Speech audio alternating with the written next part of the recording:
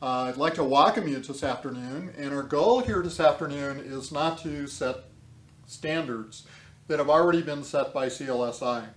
We recommend that you go to your book and that you use standards and protocol called the standard of care that is set in your books, and that you all follow that standard.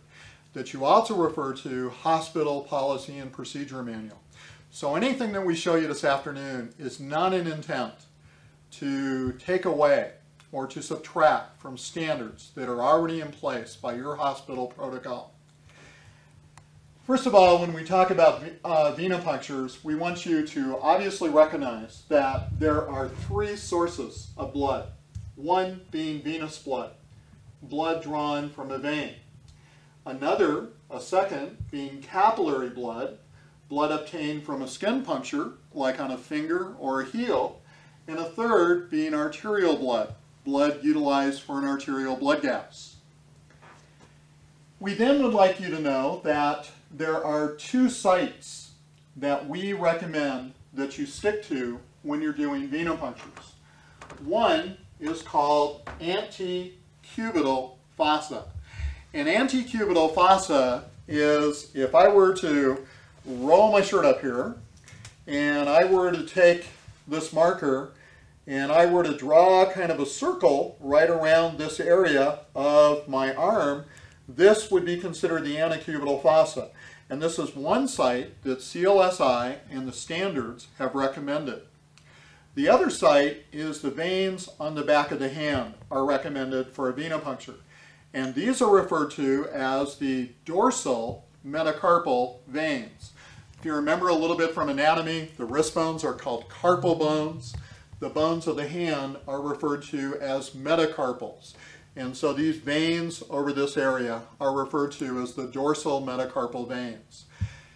Really going outside of this protocol and drawing blood from areas in here or the wrist or something like that is totally something that we're against.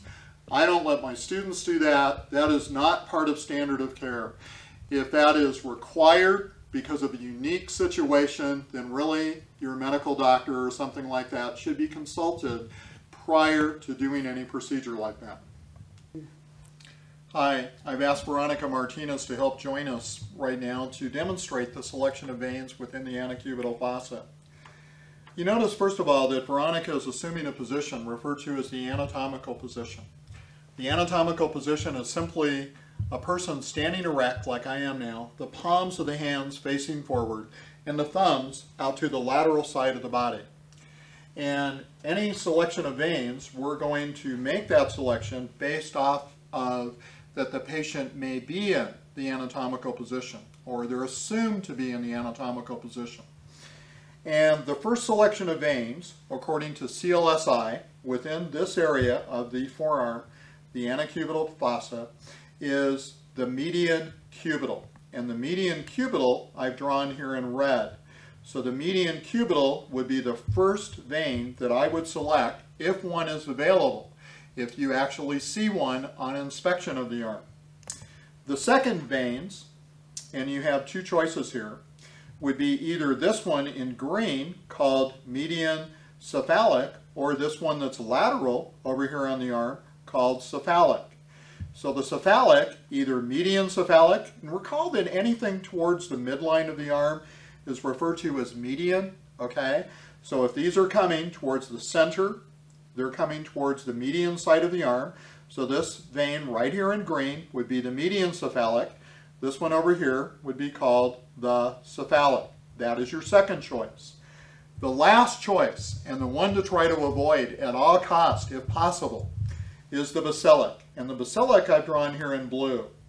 And the reason we want to choose the basilic is the very, very last choice, is that the basilic is parallel by two nerves that run on either side of it. And so if just the slightest movement of your needle, okay, the redirecting the needle, maybe not that you even meant to do it, but just redirecting it slightly, you could damage or hit one of these nerves that run down each side of the basilic here that I've drawn in blue. The other problem with the basilic, and the reason we want to try to avoid it, is that the brachial artery, which is a quite a large artery that runs down your arm here, almost right on the inside of your arm, and then rolls out here in the antecubital fossa, is very proximal or very close to the basilic vein. And so if I put my finger right here, I can actually palpate or feel the brachial artery.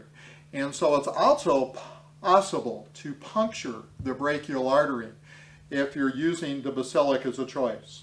So once again, just in recap, you would want to draw the median cubital, here shown in red, as your first choice, the cephalic in green, either median or the one over here, or you would want to use as a very, very last choice the basilic.